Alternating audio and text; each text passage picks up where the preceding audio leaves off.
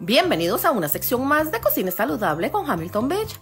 En nuestra vaporera vamos a colocar dos papas cortadas en cuatro durante 19 minutos.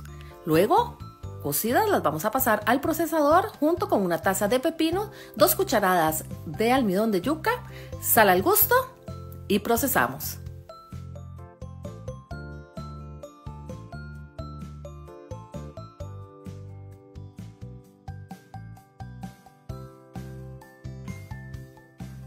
Una vez formados nuestros chips, vamos a usar también nuestro horno Hamilton Beach.